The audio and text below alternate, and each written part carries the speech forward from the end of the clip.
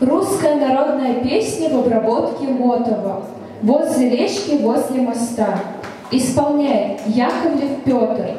Класс преподавателя Чусовитина Максима Андреевича.